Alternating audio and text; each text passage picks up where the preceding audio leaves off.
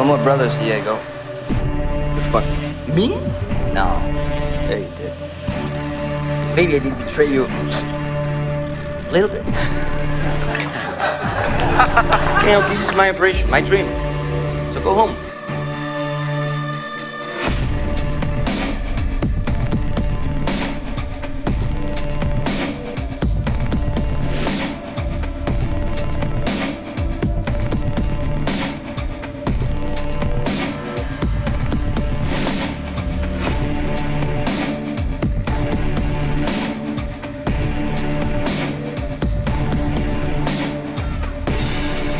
Tries for an overhand, a big head kick that's dropped him, and that's it. It's over.